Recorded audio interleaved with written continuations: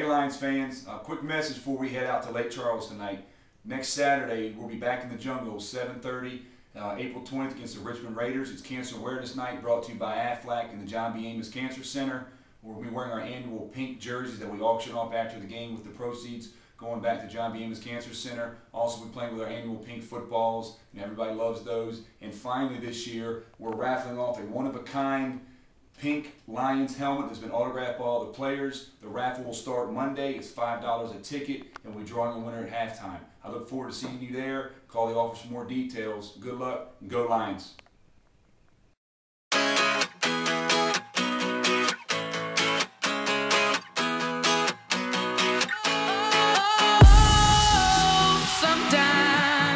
Get a good feeling,